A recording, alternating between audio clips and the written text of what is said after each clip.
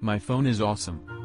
Wrong. iPhone 4 is better, I am a touchscreen and I have so many features, you're a cruddy phone. I am about $200. Cheapy.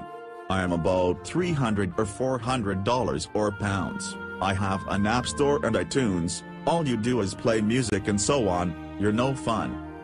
You're rubbish, you're the worst phone ever. Well I was created by Steve Jobs. Steve Jobs is a corny.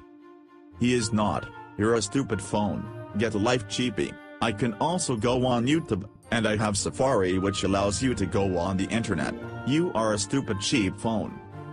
Get a life, Apple, it's just a stupid company which they named after a fruit which has been eaten. I am awesome, you're not. Rate thumbs up if you think I am better than the stupid phone that I was fighting with and please subscribe.